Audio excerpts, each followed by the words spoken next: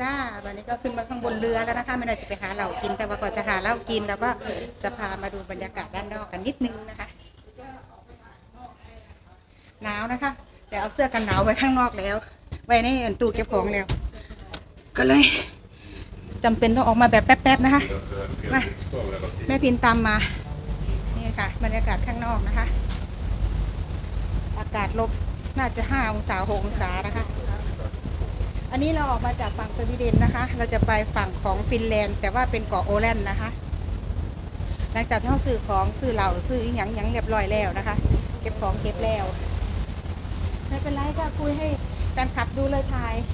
ก็แม่พินมาให้ในทายข้างนอกมันเอาเลยพามาทายนะคะอันนี้เป็นเรือดันลางนะคะ จะเป็นเรือ เรือสำรองนะคะอย่างนี้ด้านข้างเรือทุกลำนะคะ เย็นมากลบห้าองศานางออกมาเฉิดฉาย แต่อยากให้พี่น้องได้ดูไงเนี่ยคะนั่นนี่ก็จะเป็นร้านอาหารข้างใน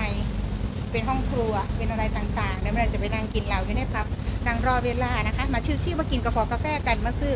มาซื้อเรามาซื้อเรามาซื้อเบียร์มาซื้อยาสูบซื้อ snus ที่คาเนี่ยอยู่บนปากนะคะ แล้วก็ซื้อของขวัญให้พ่อใหญ่นะคะมื้อนี้ เหมือนที่บอกพ่อใหญ่ไม่ได้มาเพราะว่าพ่อใหญ่เฝ้าบ้านวันนี้เขาจะมาเปลี่ยนอ่ามาเช็คสายเคเบิลเลยมาไม่ได้ไม่หน่อยก็เลยมากับแม่พินสองคนบรรยากาศข้างนอกครึ้มค่ะ ดูท้องฟ้าริบๆนะคะ มีลมแล้วก็ครึ้ม แต่บรรยากาศก็ถามว่าหนาวไหมหนาวค่ะ หนาวนะคะ แต่ว่าทนไหนพี่น้องได้เบิงเพราะว่าถ้าคนอยู่เมืองนอกจริงๆก็บ่ได้อยากเบิงหรอกค่ะ แต่ว่าถ้าคนอยู่ต่างประเทศเอ่อนที่อะยังยังไงอยู่เมืองไทยเนาะบรรยากาศรีวิวอย่างมันก็อาจจะบ่เหมือนกันเนาะค่ะ เนี่ยก็จะพยายามเก็บเกี่ยวให้เพราะว่าการมาเลือกแม่ก็ถ้าถามว่าไทยก็มันก็แบบเดิมแบบเดิมตลอดอะนะคะเพราะว่าคนที่เคยเบิงเนาะเนี่ยก็จะเก็บเกี่ยวให้เบิงว่าเออ มาครั้งนี้กับครั้งนู้นบรรยากาศบรรยากาศที่เดิมอะไรเป็นยังไงไหมน้อยพามาสองครั้งแล้วค่ะ